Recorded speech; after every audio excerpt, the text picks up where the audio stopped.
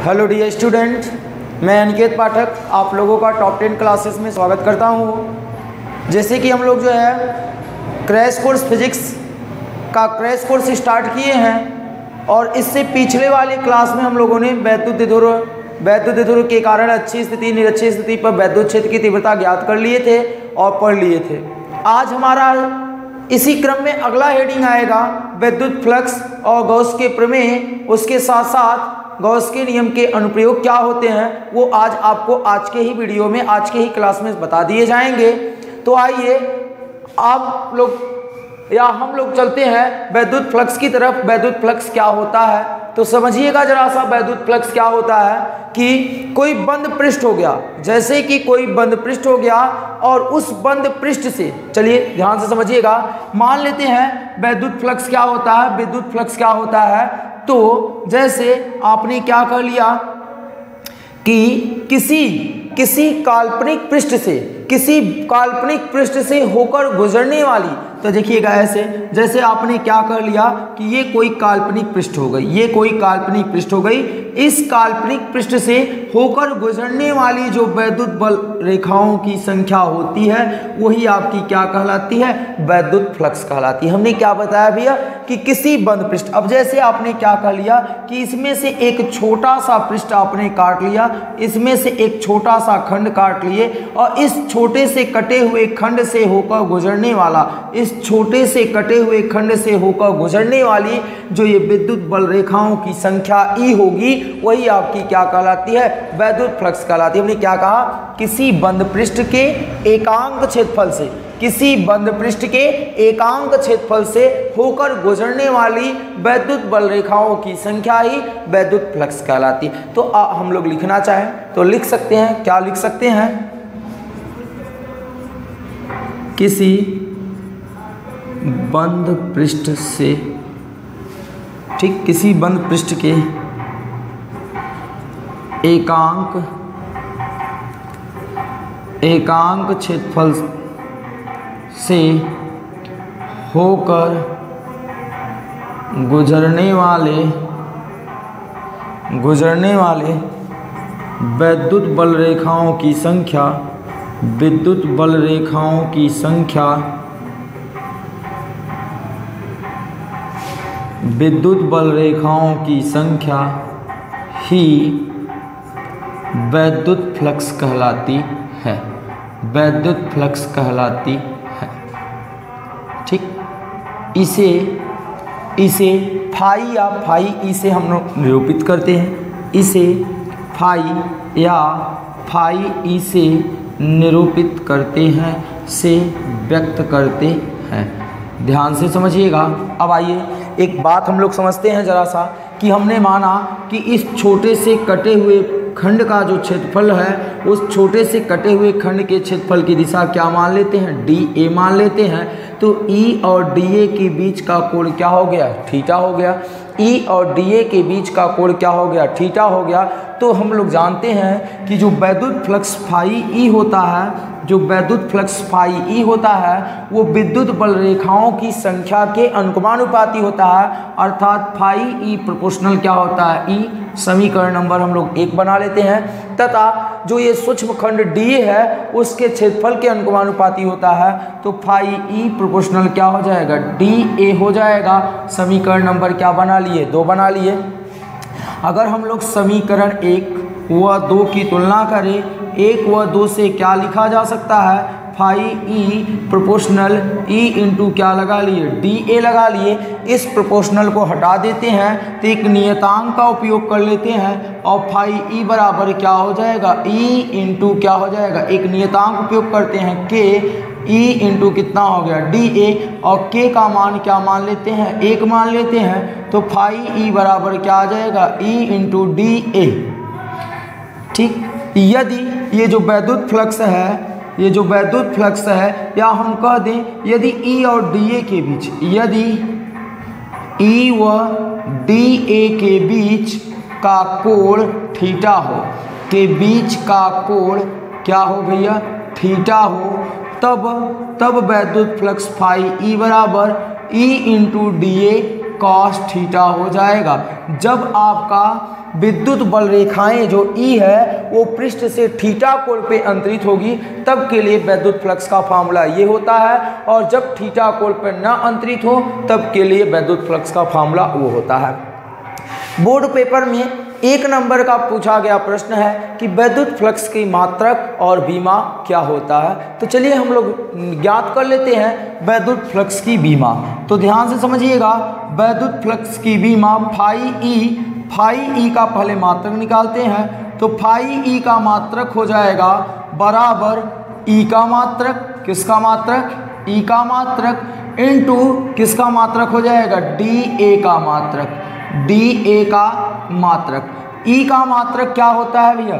Newton प्रति गुलाम अगर आपको न समझ में आए तो ई बराबर क्या होता है? यह बटे क्यू नाट का मात्रक हो जाएगा, और गुड़े डी ए तो डी ए होता है डी ए का क्षेत्रफल होता है मीटर स्क्वायर। अब एफ़ का मात्रक क्या होता है? न्यूटन होता है, और क्यू का मात्रक क्या होता है? गुलाम होता है।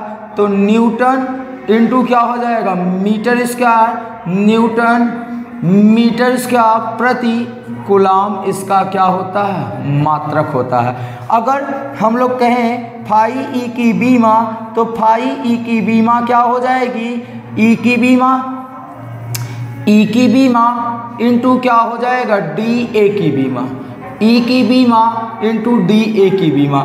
ई की बीमा क्या होती है? अब आप एफ़ अपान क्यू लिखे हो तो एफ़ अपान क्यू नाट की बीमा हो जाएगी। और इंटू डी ए तो डी ए की बीमा क्या होती है? एल के पावर टू क्योंकि क्षेत्रफल होता है और क्षेत्रफल की बीमा एल के पावर टू होती है। एफ़ की बीमा तो एफ़ की बीमा होती है M L T power minus two होते हैं। और क्यू नाट तो क्यू नाट की बीमा क्या होती है? ए टी होता है, और एल आपके सबसे पहले हैं यहाँ। ध्यान से समझिएगा एल के पावर टू और एक क्या हो गए? एल के पावर थ्री हो गए। तो यम एल के पावर थ्री हो गए। टी के पावर माइनस टू है, ये ऊपर गए तो टी के पावर माइनस थ्री हो जाएगा और ए के पावर माइनस एक हो जाएगा। इस प्रकार हम लोग वैद्युत फ्लक्स की बीमा भी निकाल लेते हैं और वैद्युत फ्लक्स आपकी कौन सी रास होती है? अधिस रास होती है। एक बार हम लोग आपको फिर से बता देते हैं वैद्युत फ्लक्स क्या होता है। किसी भी बंद पृष्ठ से, किसी भी बंद पृष्ठ के एकांक क्षेत्रफल से होकर गुजरने वाला जो वैद्युत बल रेखाओं की संख्या होती है, वही आपकी वैद्युत फ्लक्स कहलाती है। वैद्युत फ्लक्स फाई ई बराबर ई इंटू डी ए होता है। जब थीटा कोण पे अंतरित होते हैं तो वैद्युत फ्लक्स फाई ई बराबर E into D A cos theta होता है। फाई ई का मात्रक हो गए और ये हो गई बीमा। अब हम लोग जो है, इसी क्रम में आपकी अगली हेडिंग आती है, जो कि बोर्ड पेपर के लिए सबसे, और हम मान लें, कह लें कि सबसे महत्वपूर्ण हेडिंग है, जो कि है गौस का प्रमेय। पेपर में पूछा गया है, कई बार पूछा गया है, कि गौस के प्रमेय की उत्पत्ति कीजिए, या गौस के प्रमेय की जो है गौस के प्रमेय का, या गौस के कथन का जो है, आपको सिद्ध करना रहता है। तो हम लोग बनाएँगे आज बोर्ड पेपर की सबसे महत्वपूर्ण हेडिंग के बारे में पढ़ते हैं। गौस का प्रमेय, गौस का प्रमेय, गौस का प्रमेय। चलिए, गौस का प्रमेय। तो गौस का प्रमेय क्या होता है? ध्यान से समझिएगा भैया, गौस का प्रमेय क्या होता है? आइए, अब हम लोग ध्यान से समझते हैं गौस का प्रमेय क्या होता है। गौस ने बताया कि यदि कोई बंद पृष्ठ है, यदि कोई बंद पृष्ठ है क्या बताया भैया? कि यदि कोई बंद पृष्ठ है तो इससे होकर जो गुजरने वाली वैद्युत फ्लक्स है, इससे होकर जो गुजरने वाली वैद्युत फ्लक्स है, इस पृष्ठ के अंदर, इस पृष्ठ के अंदर घिरे हुए, इस पृष्ठ के अंदर स्थित आवेश क्यू का वन बटे एप्सालिन गुना होता है। उन्होंने क्या बताया? कि किसी भी बंद पृष्ठ से होकर गुजरने वाली जो विद्युत बल रेखाओं की संख्या होती है, वो उस पृष्ठ से घिरे हुए कुल आवेश क्यू का वन बटे एप्साइलन गुना होता है। तो हम लोग लिखते हैं गौस का प्रमेय, क्या होता है? गौस के कथन को लिखते हैं। क्या है गौस का कथन? किसी बंद पृष्ठ से होकर गुजरने वाले, होकर गुजरने वाले वैद्युत फ्लक्स फाई ई उस पृष्ठ से परिबद्ध परिबद्ध, उस पृष्ठ से परिबद्ध कुल आवेश क्यू का वन बटे एप्सालिन गुना होता है। ठीक? क्या हो जाएगा? यदि मानते हैं, माना कोई बंद पृष्ठ क्या है भैया?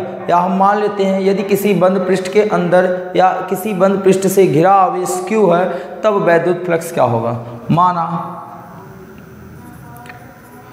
माना किसी बंद पृष्ठ से घिरा आवेश, बंद पृष्ठ से घिरा आवेश क्यों है? तब पृष्ठ से होकर गुजरने वाला, तब पृष्ठ से होकर गुजरने वाला वैद्युत फ्लक्स वैद्युत फ्लक्स फाई ई बराबर क्या हो जाएगा? घिरा आवेश क्या है क्यू है और क्यू वन बटे एप्सालन नाट गुना जहाँ एप्सालन नाट क्या होता है? जहाँ एप्सालन नाट जहाँ एप्सालन नाट निर्वात की क्या होती है? विद्युतशीलता होती है। निर्वात की विद्युतशीलता होती है। ठीक? अब हम लोग इनके गौस के कथन की उत्पत्ति कर लेते हैं कि गौस के प्रमेय आते कहाँ से हैं। तो हम लोग उत्पत्ति करते हैं। आइए। ठीक? सौरभ सर, ये मार्कर चल नहीं रहा है। इसको वीडियो बंद कीजिए थोड़ा सा। चलिए, देखते हैं। हम मान लेते हैं कि माना कोई बिंदु आवेश क्यू है, जो कि पृष्ठ के अंदर स्थित है किसी बिंदु ओ पर। क्या मानते हैं? माना कोई बिंदु आवेश क्यू है? माना कोई बिंदु आवेश बिंदु आवेश क्यू है, जो कि पृष्ठ के अंदर ओ पर स्थित है। ओ पर स्थित है। ठीक? मानते हैं, माना पृष्ठ का कोई सूक्ष्म भाग दिए है, या लिखते हैं, अतः अतः पृष्ठ के सूक्ष्म खंड, पृष्ठ के सूक्ष्म खंड डी ए से होकर डी ए से होकर गुजरने वाले वैद्युत फ्लक्स, होकर गुजरने वाले वैद्युत फ्लक्स का डी फाई बराबर E into D A into cos theta ये फार्मूला आप लोग इससे पिछले वाले हेडिंग में पढ़ा कि डी फाई बराबर E into D A into cos theta होता है। ध्यान से समझिएगा कि ये तो छोटे से पृष्ठ के लिए बात आई E into D A into cos theta ये हम लोग क्या बना लेते हैं? समीकरण नंबर क्या बना लेते हैं? एक बना लेते हैं। अब हम जानते हैं, बिंदु आवेश के कारण, किसी भी बिंदु आवेश के कारण जो परिणामी वैद्युत क्षेत्र की तीव्रता होती है, वो ई e बराबर होता है वन बटे four pi epsilon naught Q बटे क्या होता है? आर स्क्वायर जो कि आर ये हो जाएगा, ठीक? हम मानते हैं क्या मानते हैं? हम क्या लिखते हैं भैया? बिंदु आवेश क्यू के कारण। क्या लिखते हैं? बिंदु आवेश क्यू के कारण। बिंदु आवेश क्यू के कारण। क्यू के कारण उत्पन्न विद्युत क्षेत्र की तीव्रता। उत्पन्न विद्युत क्षेत्र की तीव्रता। उत्पन्न विद्युत क्षेत्र की तीव्रता E बराबर वन बटे four pi epsilon naught, Q बटे आर स्क्वायर, समीकरण नंबर क्या बना लेते हैं? दो, और समीकरण दो से ई का मान समीकरण एक में रखने पर। समीकरण दो से ई का मान समीकरण एक में रखने पर। तो समीकरण एक कौन है? समीकरण एक आपका है। डी फाइव बराबर ई इंटू इसी ई के स्थान पे हम लोग ये मान रख देंगे। डी फाइव बराबर वन बटे four pi epsilon naught Q बटे R square into D A cos हो जाएगा। डी ए कॉस ये तो छोटे पृष्ठ, इस इस छोटे से खंड से होकर गुजरने वाले वैद्युत फ्लक्स है। ये हमारा पृष्ठ ऐसे कई खंडों से मिलकर बना है। अतः लिखेंगे, अतः पूरे पृष्ठ से होकर गुजरने वाले या कुल पृष्ठ से होकर गुजरने वाला वैद्युत फ्लक्स। अतः पूरे पृष्ठ से होकर गुजरने वाले वैद्युत फ्लक्स वैद्युत फ्लक्स। क्या हो जाएगा? Phi, integration of D phi. अब डी फाई का मान आप लोग रख लीजिएगा। वन बटे four pi epsilon naught Q बटे R square D A cos theta. ठीक? अब जिनका समाकलन नहीं होता, वो जो चर अचर होते हैं, उनको हम लोग बाहर कर लेते हैं। तो इनमें से वन बटे four pi epsilon naught into Q का समाकलन नहीं होगा तो क्या बचेगा? डी ए कॉस थीटा बटे क्या आता है? आर स्क्वायर ध्यान से समझिएगा, ये D A cos theta upon R square क्या है आपका? यहाँ घनकोण है, क्योंकि आपने पढ़ा होगा घनकोण बराबर होता है पृष्ठ का क्षेत्रफल बटे त्रिज्या का स्क्वायर। तो ये आपका क्या है? घनकोण है। तो यहाँ हम चाहे तो लिख सकते हैं। क्या लिखेंगे? डी उमेगा बराबर डी ए कॉस्टीटा अपान कितना हो जाएगा? आर स्क्वायर तो इस पूरे पद के स्थान पे क्या हो जाएगा? डी उमेगा हो जाएगा।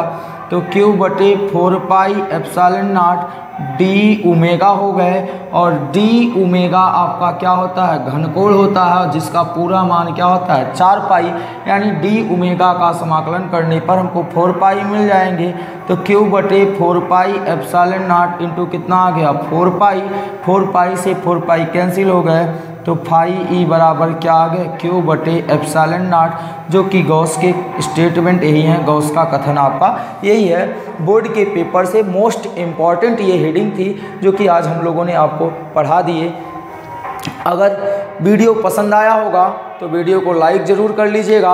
अगर चैनल पर नए आए होंगे तो चैनल को सब्सक्राइब कर लीजिएगा। तब तक के लिए जय हिंद, जय भारत।